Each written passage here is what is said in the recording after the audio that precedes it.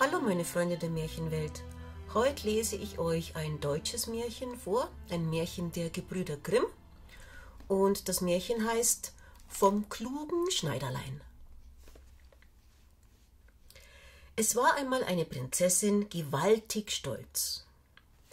Kam ein Freier, so gab sie ihm etwas zu raten auf, und wenn er es nicht erraten konnte, so ward er mit Spott fortgeschickt. Sie ließ auch bekannt werden, wer ihr Rätsel löste, der sollte sich mit ihr vermählen und möchte kommen, wer da wolle. Endlich fanden sich auch drei Schneider zusammen.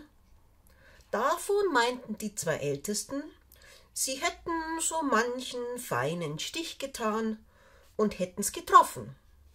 Da kann's ihnen nicht fehlen, sie müssten's auch hier treffen.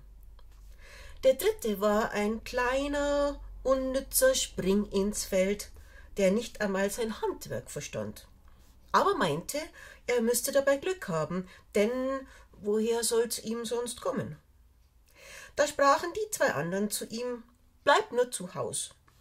Du wirst mit deinem bisschen Verstande nicht weit kommen.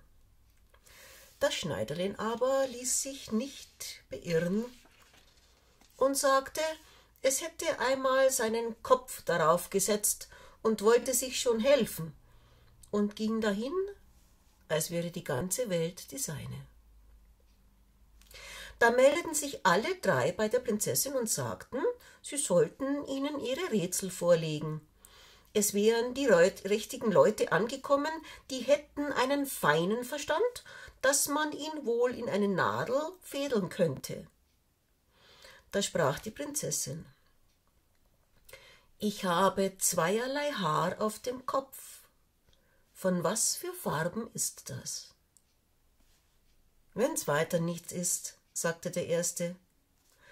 Es wird schwarz und weiß sein wie Tuch, das man Kümmel und Salz nennt.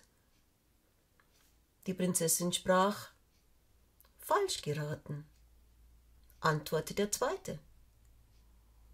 Da sagte der Zweite Ist's nicht schwarz und weiß, so ist's braun und rot, wie meines Herrn Vaters Bratenrock.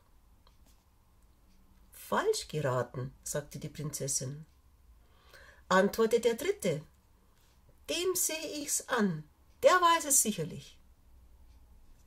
Da trat das dritte Schneiderlein keck hervor und sprach Die Prinzessin hat ein silbernes und ein goldenes Haar auf dem Kopf, und das sind die zweierlei Farben.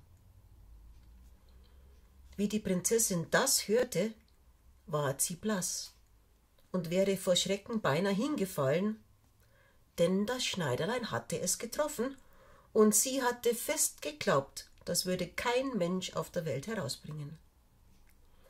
Als ihr das Herz wiederkam, sprach sie Damit hast du mich noch nicht gewonnen, du musst noch eins tun. Unten im Stall liegt ein Bär, bei dem sollst du die Nacht zubringen. Wenn ich dann morgen aufstehe und du bist noch lebendig, so sollst du mich heiraten. Sie dachte aber, damit wollte sie das Schneiderlein loswerden, denn der Bär hatte noch keinen Menschen lebendig gelassen, der ihm unter die Tatzen gekommen war. Das Schneiderlein ließ sich nicht abschrecken, war ganz vergnügt und sprach Frisch gewagt ist halb gewonnen. Als nun der Abend kam, ward mein Schneiderlein hinunter zum Bären gebracht. Der Bär wollt auch gleich auf den kleinen Kerl los und ihm mit seiner Tatze einen guten Willkommen geben. Sachte, sachte, sprach das Schneiderlein, ich will dich schon zur Ruhe bringen. Da holte es ganz gemächlich, als hätt es keine Sorgen, Nüsse aus der Tasche, biss sie auf und aß die Kerne. Wie der Bär das sah, kriegte er Lust und wollte auch gern Nüsse haben. Der Schneiderlein griff in die Tasche und reichte ihm eine Handvoll.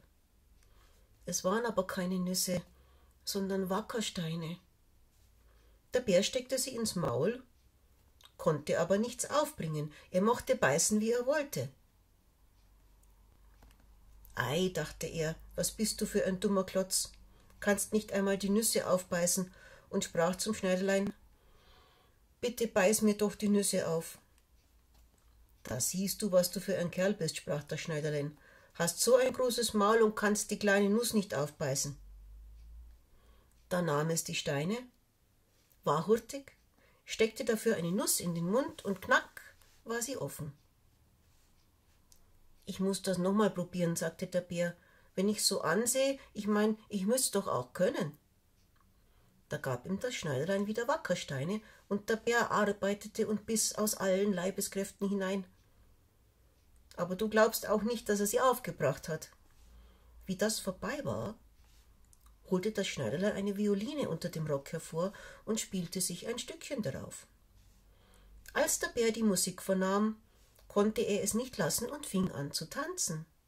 Und als er ein Weilchen getanzt hatte, gefiel ihm das Ding so wohl, dass er zum Schneiderlein sprach Hör, ist das Geigen schwer? Kinderleicht. Siehst du, mit der linken leg ich die Finger auf und mit der rechten streich ich mit dem Bogen drauf los.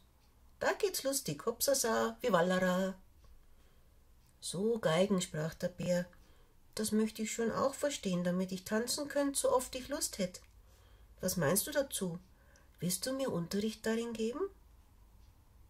Von Herzen gern, sagte das Schneiderlein, wenn du Geschick dazu hast. Aber zeig einmal deine Tatzen her. Die sind gewaltig lang. Ich musste die Nägel ein wenig abschneiden. Da wurde ein Schraubstock herbeigeholt und der Bär legte seine Tatzen drauf.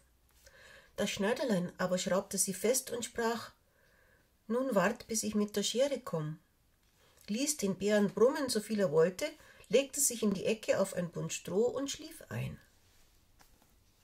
Die Prinzessin, als sie am Abend den Bären so gewaltig brummen hörte, glaubte nicht anders, als er brumme vor Freude und hätte dem Schneider schon den Gar ausgemacht.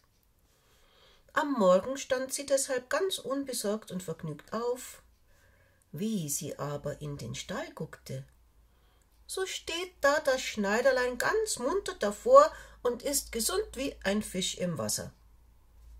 Da konnte sie nun kein Wort mehr dagegen sagen, weil sie es öffentlich versprochen hatte, und der König ließ einen Wagen kommen, darin musste sie mit dem Schneiderlein zur Kirche fahren und sollte sie dort vermählt werden. Wie sie eingestiegen waren, gingen die beiden anderen Schneider, die ein falsches Herz hatten und ihm sein Glück nicht gönnten, in den Stall und schraubten den Bären los. Der Bär in voller Wut rannte hinter dem Wagen her.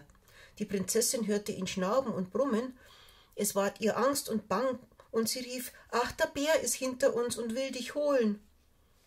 Das Schneiderlein war fix, stellte sich auf den Kopf, steckte die Beine zum Fenster hinaus und rief Siehst du den Schraubstock? Wann du nicht gehst, so sollst du wieder hinein. Wie der Bär das sah, drehte er sich um und lief fort, denn vor dem Schneiderlein hatte er Angst. Mein Schneiderlein fuhr da ruhig in die Kirche, und die Prinzessin ward ihm an die Hand getraut, und er lebte mit ihr vergnügt wie eine Heidlerleiche. Wer's nicht klappt, bezahlt einen Taler.